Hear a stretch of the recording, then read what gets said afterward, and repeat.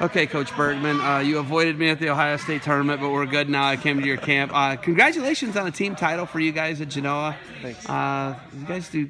You had a pretty good season. Yeah. Okay, 29 and 0. You guys won the, the, the dual title in Ohio in Division Three, and then you won the team title. Wasn't close in either any of them, right? What goes into that, and how, do- how are you guys able to you know hold it together? Tough Ironman tournament for you for the Yeah. start. That's a tough way to start the season. Yeah, first things first. But you, you go yeah. every year, right? Yeah, last few years, yeah, I've been been active there. Why do you think you need to go to the Ironman? You know, Yeah? Ironman, you know, it tells you right now where you're at, what you need to work on. Uh, you know, you're seconds away from uh, a match going in your favor or not. So those those uh, matches made a huge difference for us and gave us a good starting point to improve on. You look at the, the when the success though. Your community has jumped all over it, man. First state title in school history in anything. Yeah. You know, for a team, that's pretty incredible, right? Yeah. What's the community sport meant to you? Yeah, I mean, our, our, our mayor, our school system, our superintendent, and uh, athletic director, uh, all, all been really supportive, and uh, they jumped all over it, and with police parades and uh, send-offs, and um, they've or- organized a senator to come and road signs. I mean, it's been overwhelming. Our boys are really humbled by it all. We're, we're touched. You as a coach, though, you know, you're, you haven't been doing this forever. You know, that was No. this your sixth year, eighth year. Uh, just finished seventh. Finished your seventh year, going into your eighth year.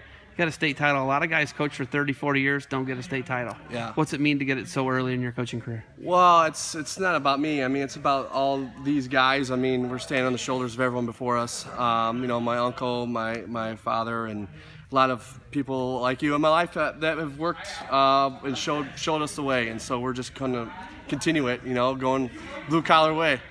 You guys are super blue collar. There's a road construction company like three miles down the road. We were sharing some stories today. Yeah. I might have got beat up in the yard one Yeah. day by your Uncle John. But, Yeah. you know, when you look at that blue collar mentality of the Bergmans, you know, it's gone for, for four generations now, starting with Henry, your great grandfather. And what's that mean to know that you guys can hand that down to kids? And that's something you can really take and apply. You're in an industrial area. We're in the Rust Belt, right? Yeah. Automotive industry is Yeah. huge here in the Toledo area. They make the Jeep, the Right, iconic Jeeps right. made right down the road. What's it like having the blue collar mentality here?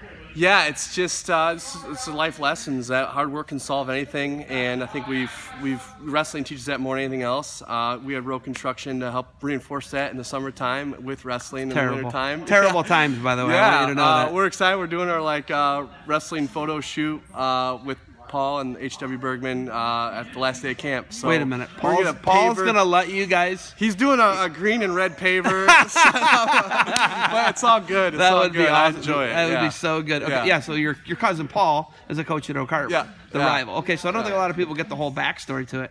Two years ago, we did a video, and I asked if it was Yeah. to awkward family family interaction. You guys edged Oak Harbor out with Lamanji with getting a pin. Yeah. And you took the runner up over them. This year, I mean, it wasn't even a contest. You know, you blew them out of the water. You guys have made strides. You've put space in between you and them. What do you got to do? You know, you got to. You have six state placers coming back, three state finalists, and three thirds.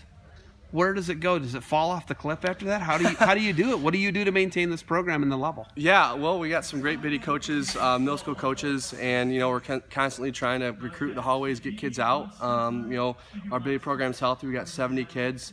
Um, middle school, we're trying to boost it up in the mid 20s is our goal each year. So you know, we got Joe Zebold in the building. He's uh, charismatic. One and- of the best Yeah, humans on the planet. Let's get that straight. Exactly. Top five human on the planet Earth for me. hands down. I'm Top, gonna say top three for me. This guy's incredible guy, right? Yeah. Just a good dude, so right? We're, try- we're getting kids out, and uh, you know, hopefully, success breeds success, and we can continue the tradition. How many years has Coach Z got left in teaching? He can retire soon. He's he? getting close. He's got three. He's Are got you serious? left. Coach yeah. Z's done in three years. Yeah.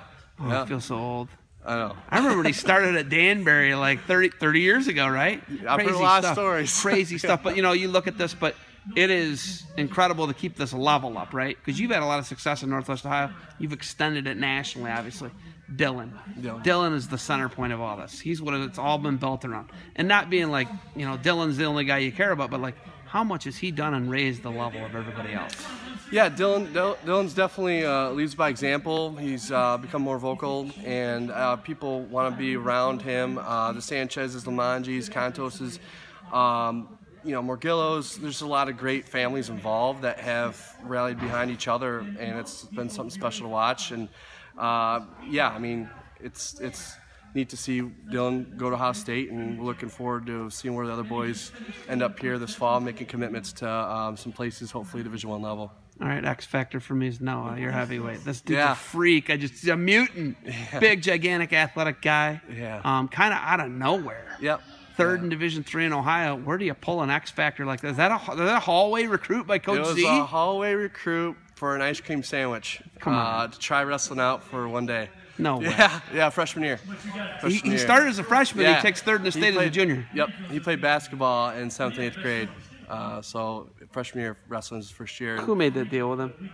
We we all did. We just yanked him out of the hallway. I mean, it wasn't like, uh, yeah. I mean, I have ice cream in my uh, freezer in my schoolroom, so that's where we had a party and it was leftover. so, Literally sounds like a made-up story, but No, I'm guessing I'm it's not. It's serious. real, right? I'm dead serious. She'll tell you the same thing. All right, you got one of the most, uh, you know, you've taken a lot from your dad, right? A lot Yeah. of a lot of the signage and and this stuff over here, right? We're gonna do a quick tour of that, but man, it's it's, it's incredible. It's creative, and I want to be in this room every day. I'm not gonna lie to you. I want to be in this room every day. All right, let's let's do a quick tour. All right. All right, yeah.